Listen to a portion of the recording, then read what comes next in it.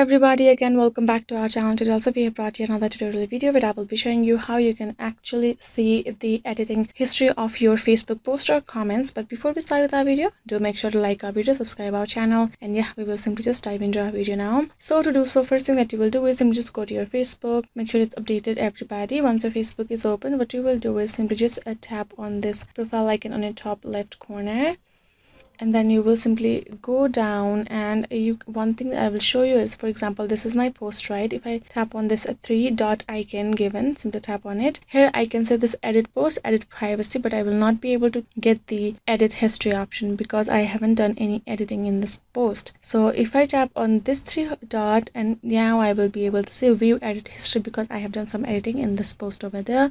So i will simply tap on this option right there and you can see the editing history. Before it was this but i have edited over here as well. This is how you can simply check the editing history of your post. If so for example in this post i have commented over here here is my comment. So what i will do is simply long press in that comment and i will see this edit option and above view edit history right? Simply tap on there. You can see what, what it was before and what it after the editing. So this is how you can simply check your comments edit history. So yeah guys this is it for today's video. I hope this video was helpful to you guys and yeah thank you so much for watching our video and i'll see you guys next time